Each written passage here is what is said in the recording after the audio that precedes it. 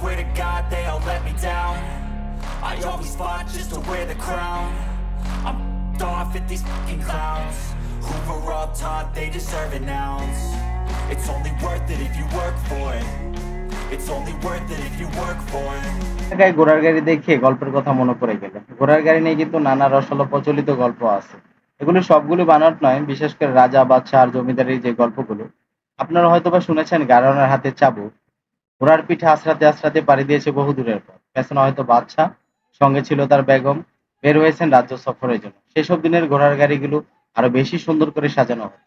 শুধু তাই নয়, রূপকথা, উপকথা তো আছে এই ঘোড়ার গাড়ির কথা।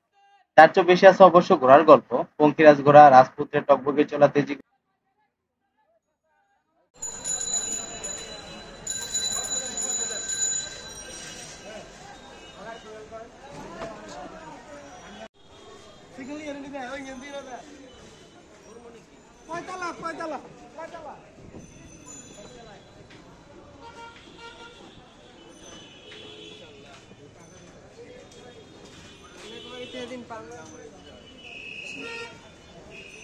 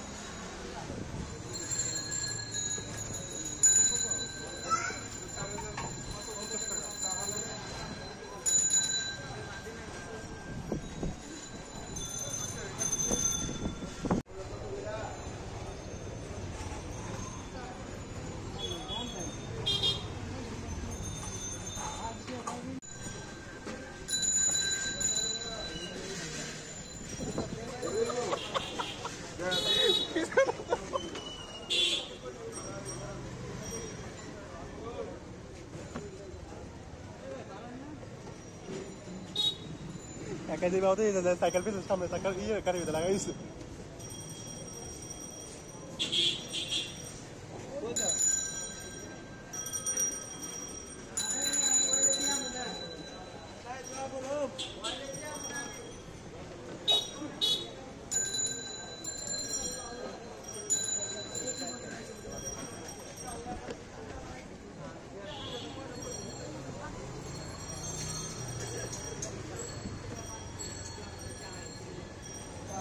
Bagi.